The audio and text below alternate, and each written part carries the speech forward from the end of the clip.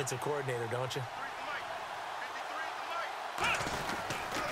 Now they'll run it on the toss. And hit behind the line. He lost the football. It's loose. Sammy Watkins, he's going to go.